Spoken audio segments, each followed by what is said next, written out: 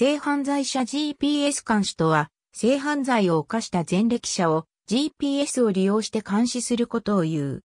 ブレスレットエリクトロニーク現在特定の前歴者に GPS の取り付けを義務付ける制度がある国は、アメリカ合衆国、大韓民国、イギリス、フランス、ドイツ、カナダ、スウェーデンなどで実施されており、台湾、オーストラリア、ブラジルでも導入が検討されている。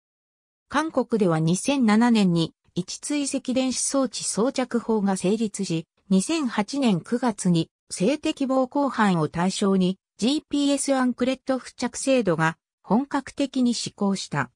法案はハンナラ党議員による議員立法であり、当初は人権侵害だとの反対があったが、2006年に発生した執行猶予中の性犯罪者によって、小学生が性的暴行後に殺された事件が法案成立を後押しした。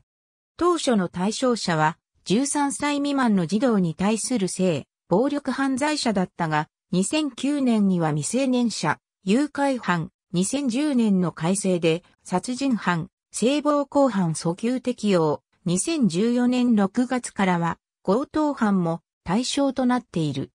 監視は24時間体制で、禁止地域や禁止地域近くの干渉地域に対象者が入ると、警察が対象者に電話する。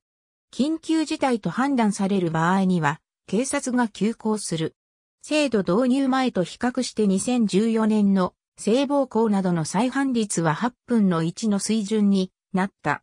制度施行前の2004年から2008年間の性暴行犯罪者の再犯率は14.1%だったのが、制度施行後の2009年から2014年までは1.7%になるという再犯率が88%減少した。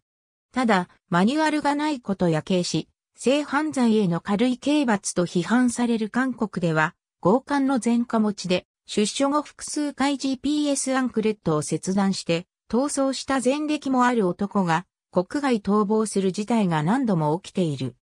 原因として、韓国検察が男の逮捕状を請求したが、韓国裁判所は逃走の恐れがないと却下し、その理由として逮捕した韓国警察も男の出国禁止申請をしなかったこと、出国禁止措置が出ていないと、電子足輪をしていた場合も、韓国の空港が男の嘘を確認せずに載せることにあると指摘した。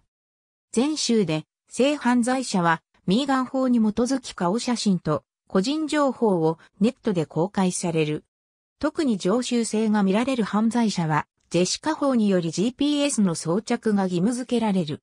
80年代アメリカの刑務所が過剰収容になった際に施行されたジェシカ法は、90年代以降、GPS を利用した追跡が採用され、以後欧米を中心に子供を狙う性犯罪者を監視する目的なお、現在では、性犯罪者だけでなく、在宅の被疑者や仮釈放中の者にも装着されている。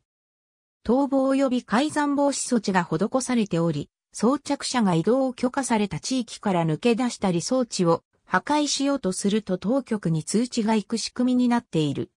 アメリカの GPS だけでなく、他の衛星測位システムを利用して、性犯罪者を監視する場合もある。ただし、そのような場合でも代名詞的に GPS と総称される場合もある。ありがとうございます。